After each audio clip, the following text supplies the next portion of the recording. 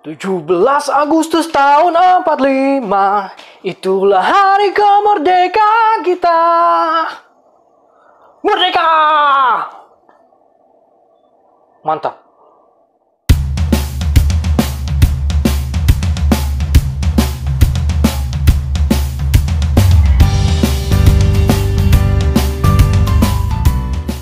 Halo teman-teman. Assalamualaikum warahmatullahi wabarakatuh Selamat datang di channel Basic by Air. ya teman-teman, hari ini adalah 17 Agustus. Nah, ini adalah hari kemerdekaan Republik Indonesia, teman-teman. Tanah air yang kita cintai ini, teman-teman. Ya, teman-teman, bangsa yang besar adalah bangsa yang selalu mengingat jasa-jasa para pahlawannya. Begitu kata Bung Karno teman-teman. Ya teman-teman, karena itu untuk mengenang jasa-jasa para pahlawan, di sini uh, Basic Buyer akan mencoba mereview satu aplikasi buatan anak bangsa, di mana di dalamnya ia membahas dan menceritakan sejarah bangsa Indonesia teman-teman. Dari mulai uh, zaman kerajaan ya, sampai uh, reformasi dan lain-lain kayak gitu teman-teman. Seperti apa aplikasinya? Nah, buat kalian yang tertarik, ikutin saya terus ya. Oke teman-teman, saya udah pegang handphone saya di sini. Kebetulan aplikasinya ada di Play Store ya teman-teman. Namanya adalah Sejarah Indonesia dan developernya adalah GoGo Indo nih di sini teman-teman. Kebetulan uh, ratingnya juga bagus ya, uh, eh, 4.4 di sini teman-teman. Dan untuk yang mau download aplikasinya, uh, nanti akan saya sertakan di kolom deskripsi ya. Kalian bisa langsung download di situ teman-teman. Oke teman-teman, sedikit uh, ringkasan akan saya bacakan tentang aplikasi ini ya. Aplikasi ini adalah aplikasi sejarah Indonesia yang berisikan informasi tentang sejarah NKRI yang dibagi dalam beberapa bagian, mulai dari masa prasejarah, perang kemerdekaan, hingga pemerintahan NKRI, teman-teman. Kayak gitu.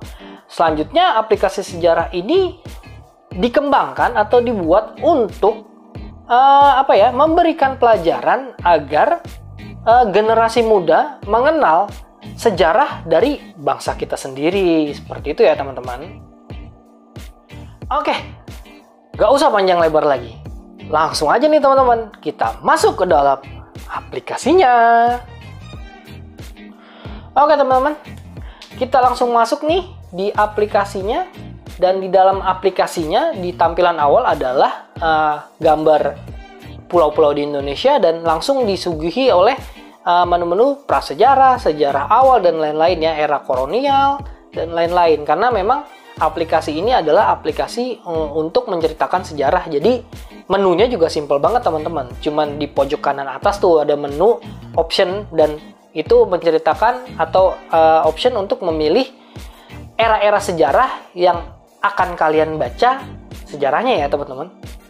Seperti ini misalnya ada tuh periode kejayaan uh, Portugis, era reformasi, kolonialisasi, kayak gitu teman-teman.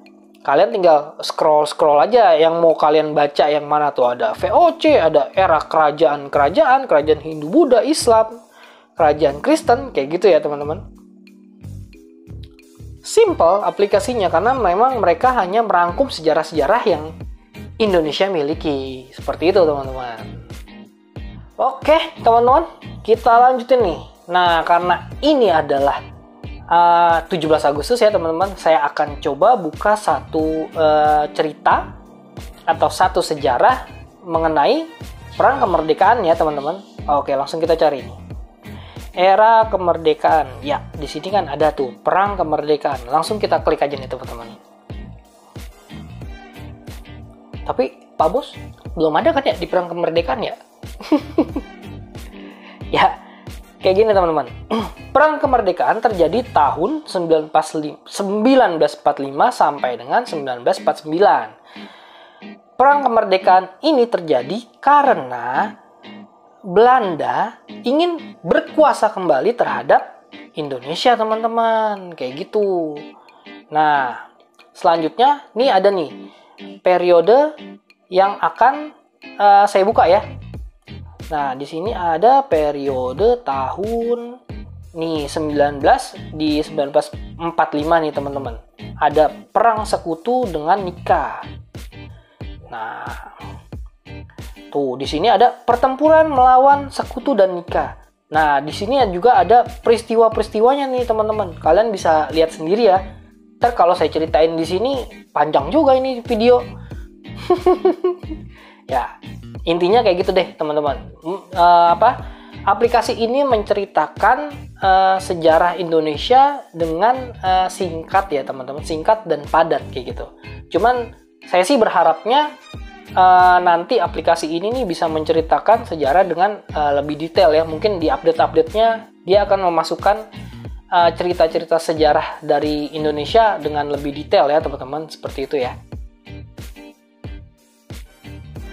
Yap, teman-teman. Selanjutnya, hmm, apa ya yang enak ya? Oke, saya mau coba uh, buka uh, tentang uh, sejarah proklamasi Indonesia ya, teman-teman. Uh, saya coba cari dulu proklamasi, proklamasi, proklamasi. Oh, ini ada proklamasi kemerdekaan.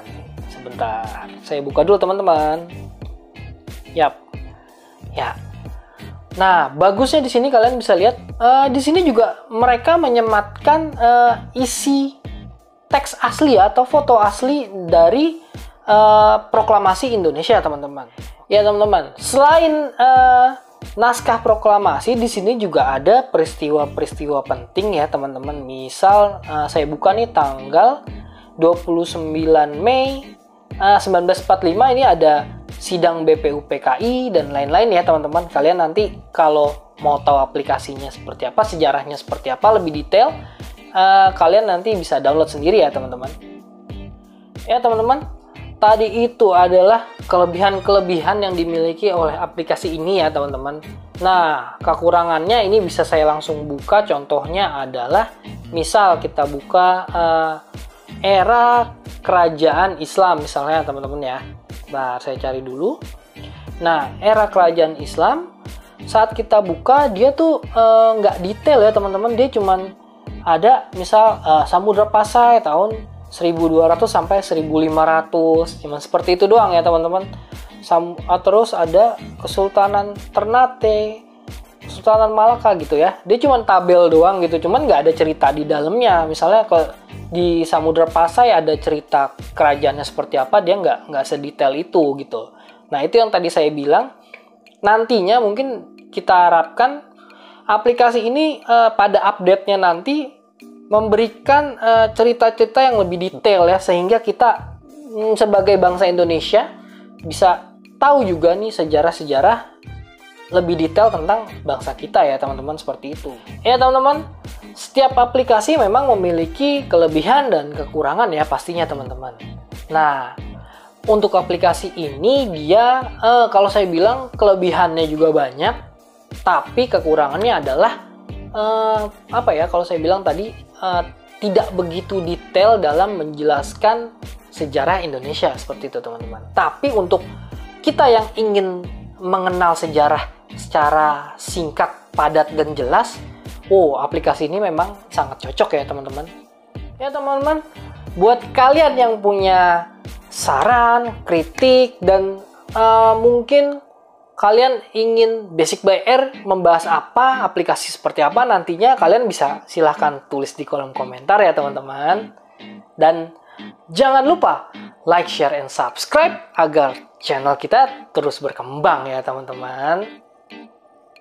Oke, sekali lagi dirgahayu buat Republik Indonesia ku tercinta ya.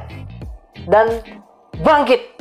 Saya yakin Indonesia bisa bangkit dari keterpurukan atas pandemi ini teman-teman. Semuanya satu suara ya. Merdeka!